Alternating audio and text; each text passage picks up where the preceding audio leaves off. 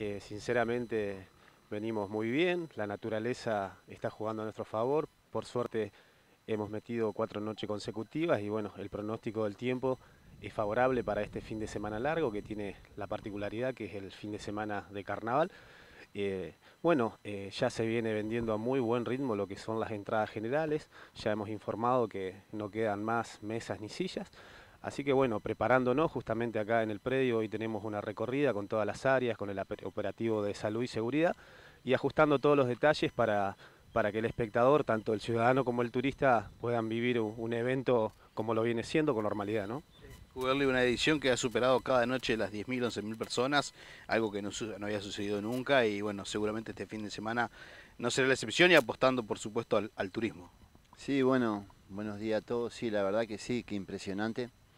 Bueno, como lo dice Matías, estamos acá esperando para ultimar detalle.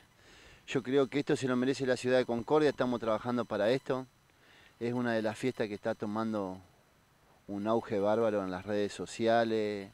Eh, está saliendo ya de, lo que va para nosotros y bueno, estamos esperando dos corsódromos llenos, lo que es el sábado y el domingo. Y bueno, el sábado y el lunes, perdón. El domingo tenemos pequeños duendes también acá donde también estamos trabajando para, para recibir a todos de la mejor manera.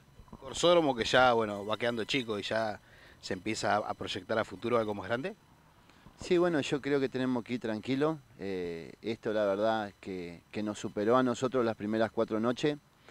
Eh, creo que nunca se vivió así cuatro noches llenas. Las últimas dos noches esperamos, como dice Matías por ahí, estamos viendo de no cerrar las puertas para que no, para tener la seguridad de las tribunas eh, en buenas manos. Eh, Matías, eh, bueno, se definieron las últimas dos grillas, saber quién arranca y quién cierra cada noche de, desfile. Bueno, lo que es este sábado, la quinta noche de desfile, va a estar abriendo el carnaval comparsa Imperio y va a estar cerrando comparsa Bella Zamba y para el día lunes, feriado de carnaval, va a estar abriendo comparsa Ráfaga y va a estar cerrando la última campeona que es comparsa Emperatriz, ¿no?